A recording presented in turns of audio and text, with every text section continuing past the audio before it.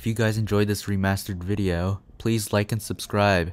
I will be posting more very soon. And make sure to turn on the bell to make sure you don't miss a video whenever I upload it. So thank you guys. Bye.